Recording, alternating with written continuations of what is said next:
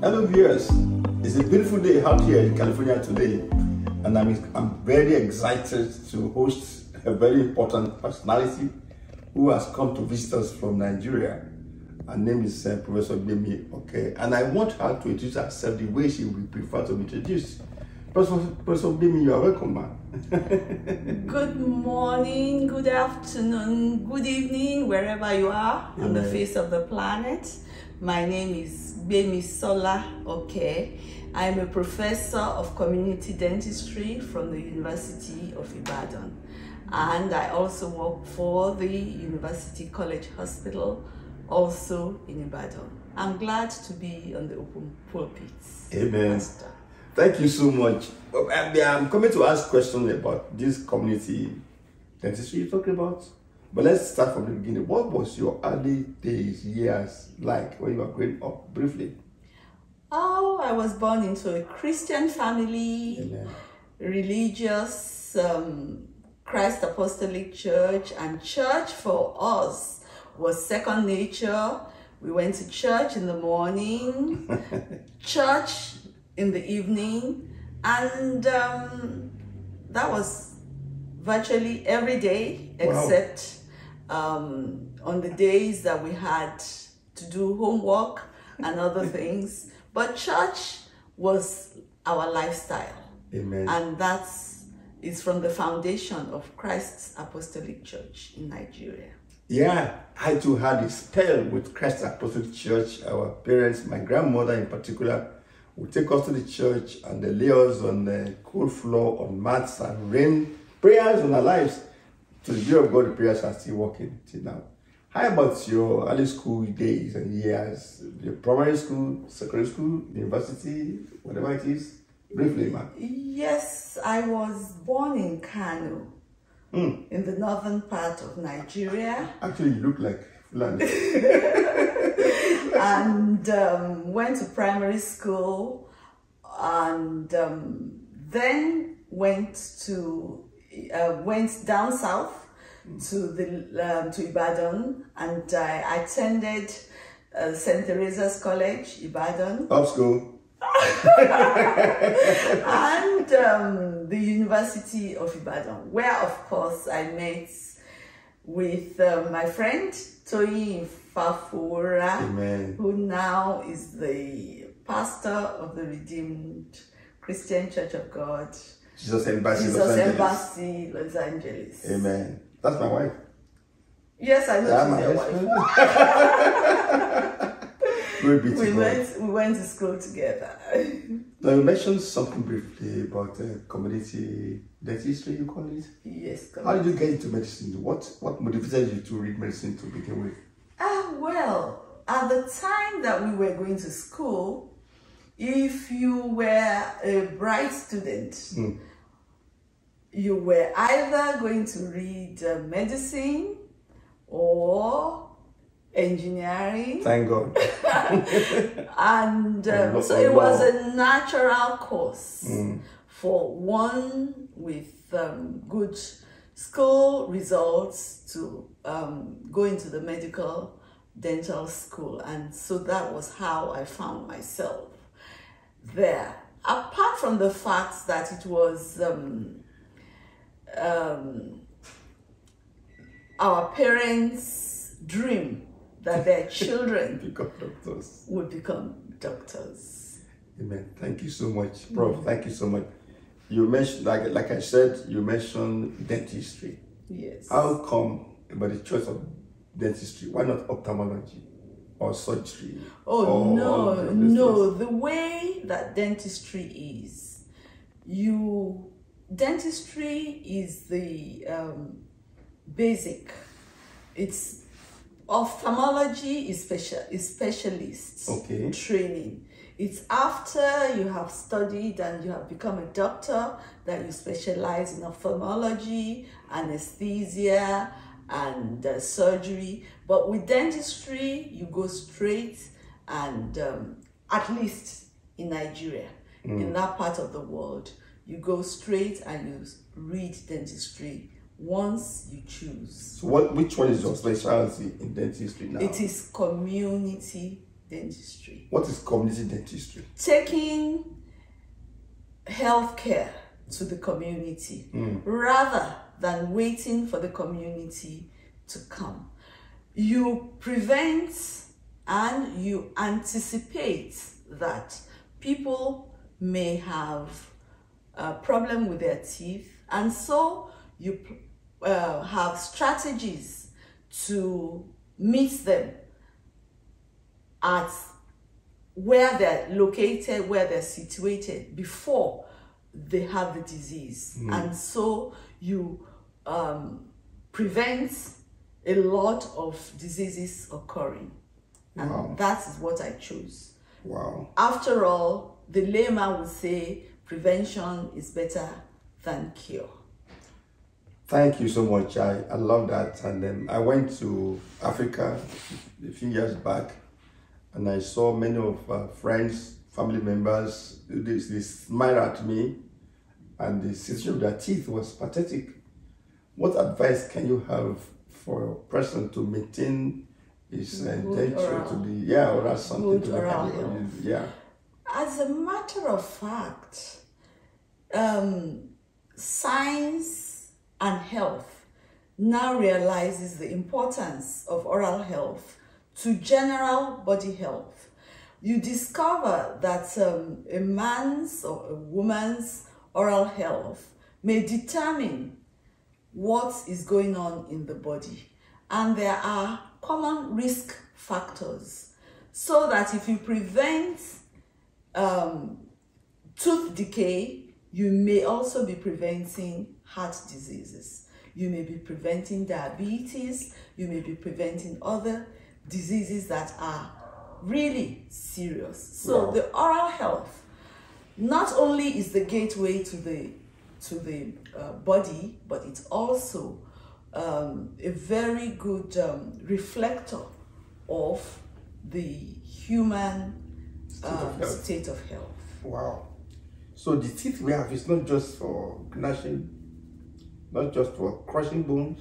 the teeth serve for uh, serve so many functions so that you can enjoy your meals so that you can uh, smile so that you have good esteem of yourself Good esteem. Hmm. and um, so that you live long and but then it's also an indicator of what could be going on in the body Thank you so and much. you could um, use it as a proxy Question. Sorry to interrupt you. Question. As you are talking, I remember that we have some people, we see some people who put all kind of colors in their teeth, gold and this and everything. Is that part of um, strengthening the performance of the teeth or oh just for decoration? well pastor you could be mixing two things up Okay. there are those who wear braces and braces could come in different colors and those would be to correct teeth that are not properly aligned No, no, no, I'm not. I know braces.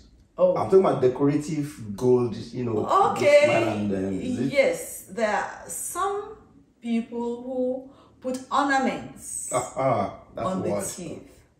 And um, they have ornaments everywhere and then there's nowhere else than the teeth that they want to put these ornaments. We discourage the use of these ornaments because they pose a lot of um, risk to the wearer. Sometimes the uh, ornaments get dislodged, they can be inhaled, and they can actually choke. They can be swallowed. if they are swallowed, okay, but they can actually um, pose a threat to the life of the wearer. And so we discourage. But in the circumstance that we, we cannot, we ensure and we encourage that they go to the dentist, and it is the dentist that um, fixes these ornaments on the teeth. And by so doing, the dentist would give a regular um, check on the state of the ornament and um, ensure that the risks are lessened. A design, a kind of maintenance culture, so to say, right? Yes. Okay. Let me just ask one or two or three questions. Because in every stage of a human being, there are different levels. When you are young, maybe you are in the elementary school, or when you are in university, or when you ultimately became a professor. Stage one, what were the greatest challenges you had during these three stages of your development in life? Well, they differed. When I was um, in school, the challenge was meeting and growing to be who I am today, making my grades and um, ensuring that um, the I met my parents and my own goals. As um, an adult, I then had a family, a husband, and children. And the objective at the time was to ensure that we had a healthy family, healthy relationship, and that we brought our children up in the way of the Lord to meet their own goals in life. Now is the sunset of life. Sunsets, Professor. Life has just started. Only for sunsets. when you're talking about stages in life, um, the children are gone. Mm. Incidentally, my partner, my husband, is also gone. That's good, good, So good. it's another transition, Mm. and um, one has to look and prepare. Not only for um, stages of being an elderly, but also you need to prepare to be to be ready at any time Okay. when the Lord okay, okay, okay. We are not ready. we have years and years Yes. ahead. But you see, But you have to viewers, I need to let you know that um, the late husband of Professor was also Professor. Very brilliant professor of anatomy, right? Yes. Good. Great, great friend of ours, Bankole. Okay. May your soul continue to rest in peace in the name of Jesus. But the life continues. Everybody has to die at one time or the other. Our prayer is that we all live long, in good health, in the name of Jesus. Amen. So, um, Professor Gbemi, from the way you are talking, you keep on making reference to kind of Christian philosophy. Are you a Christian? By the grace of God, I'm a Christian, born again Christian, Holy Spirit filled. filled. Hallelujah, shouting. Hallelujah. To God. Remember when my wife got born again, and um, I didn't understand many things about this this born again thing at that time. I was so confused. You are the one I ran to to say, please, baby, I'm Really? about losing my wife. Really? What's this born again thing? You know, and you took time to explain it to me. The question I want to ask is this Do you see Christianity these days as the way it has always been from the very beginning? Because I remember that there were those people we used to abuse who we actually used prayed to us. names. Yeah, who prayed us into into Christianity. Scripture Union, and we used to call them SUs because they were at the time fervent for Mm. the Lord. Amen. And you could feel the fervency, just wanting to please and always to um, be in the presence of the Lord.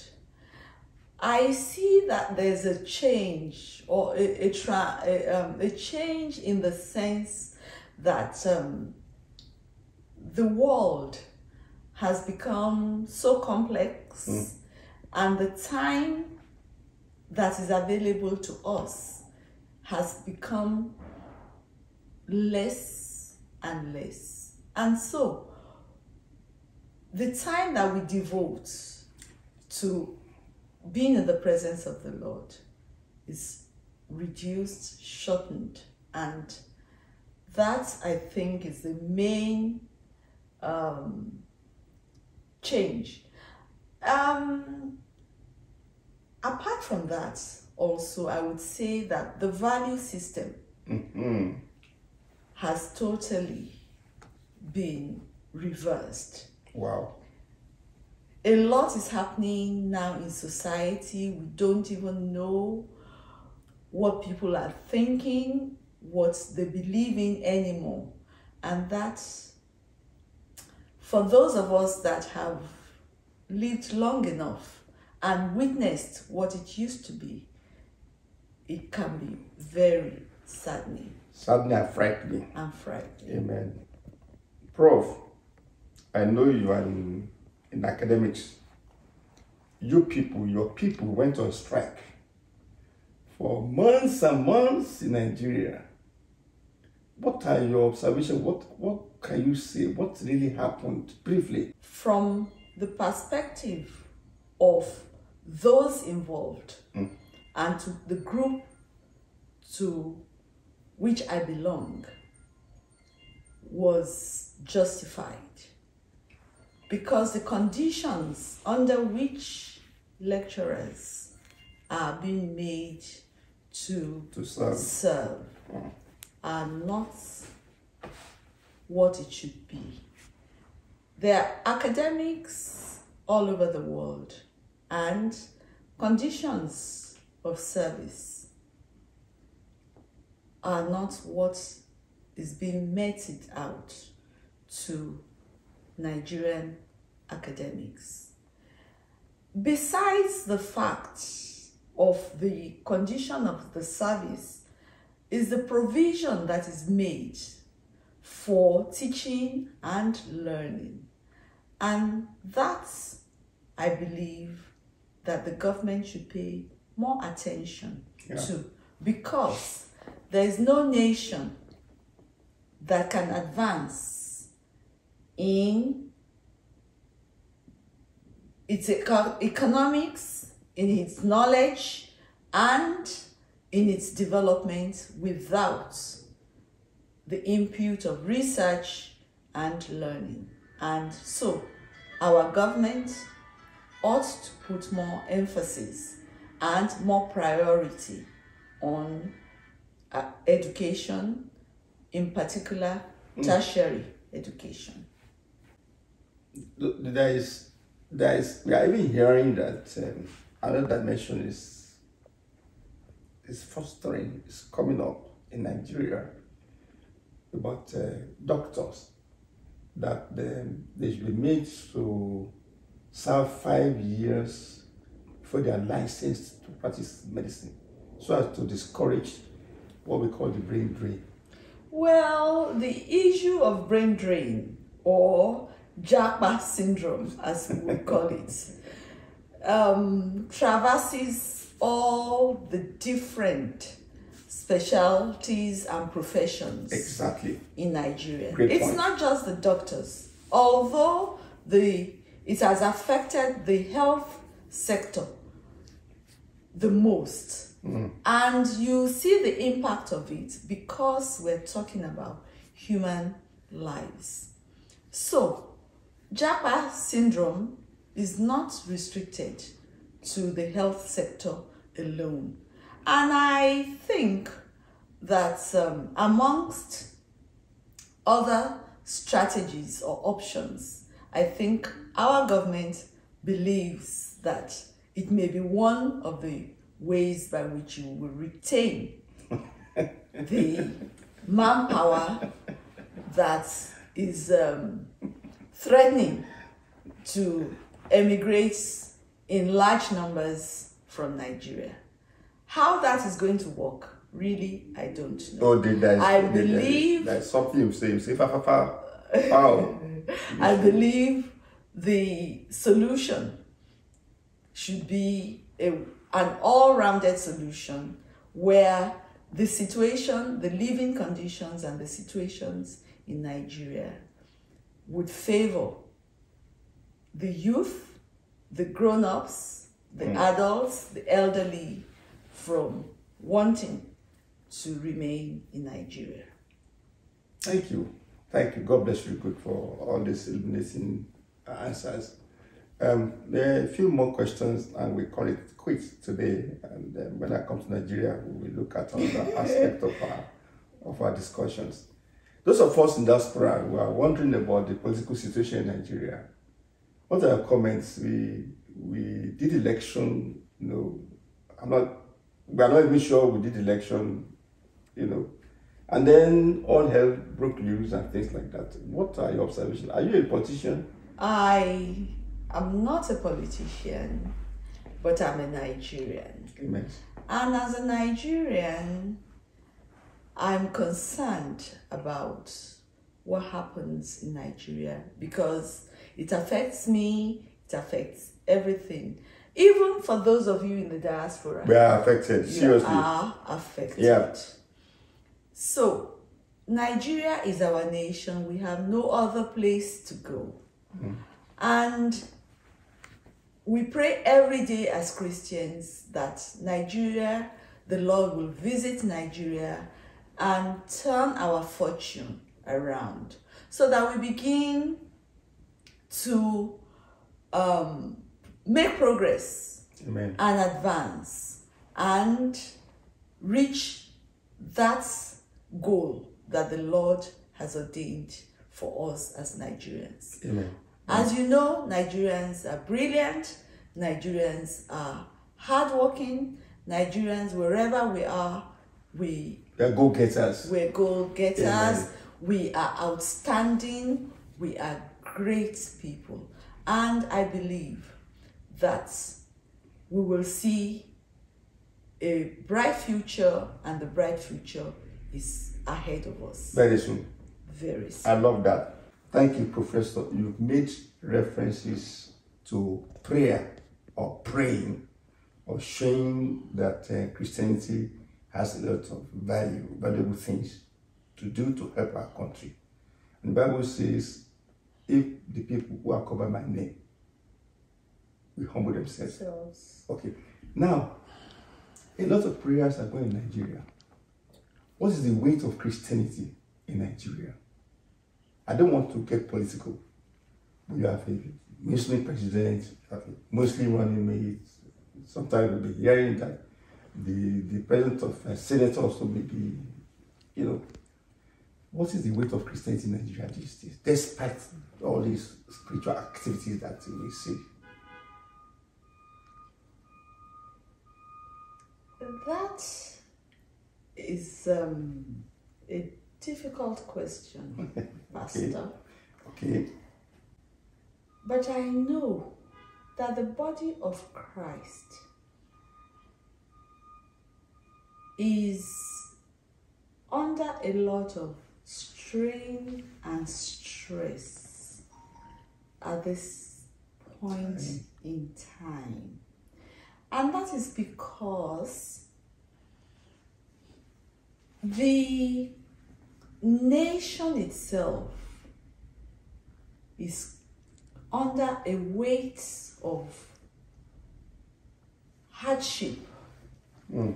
And when that happens, the Christian body would need to pray a lot more and endure a lot more.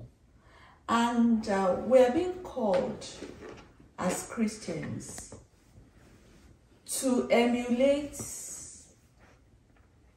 our example, Jesus Christ, that had to suffer to be able to reach his goal. And he came into the world, the Son of the Most High God, God Himself, and He suffered to be able to achieve our redemption. Prof, now you are preaching. and I love that. But So- the Bible says something, so- but Prof, Prof, wait, wait. Bible says, if your ways please the Lord, He will make, Make your enemies to be at even peace at with peace be at peace with, with you. you. Do the ways of our Christian leaders please the Lord, including me, including you? I would skip making a comment Okay, all right. on that. We'll pray about it The body of Christ in general, all over the world. All over, like all over the world, Yeah, like, like that, yes. to cope with so many things, Challenges, challenges, end time situation. end time Yeah. situations. Okay. So I believe that together and as the body of Christ, whether being led or the uh, led, should at this point in time go back to the foundation, go back to the basics, and the Bible is our reference point Amen. and we should develop ourselves and ask what exactly is God asking us to do. Thank you so much. On that note, I'm about to end this interesting dialogue. But before then, I want to ask you a question. Is there a question you wish I would have asked you that I did not ask? In everything you have said? I think you covered everything. That's what I call an unseen question. well, viewers, I really thank you for your attention. We've had the privilege of hosting Professor Mrs. Uh, Gbemi Okeni Adeokun. She's been my wife's friend for years, years and years. And I've been the friend of our late husband for years Yes, and years. yes. The prayer we pray for you, viewers, is that people say that old friends are better than new. My prayer for you is that friends who are enemies, God will separate you from them. In the name of Jesus. Again, we're the open pulpit. If you enjoy this particular interview, please share, like, and um, subscribe to our channel. God bless you. See you again. Thank you.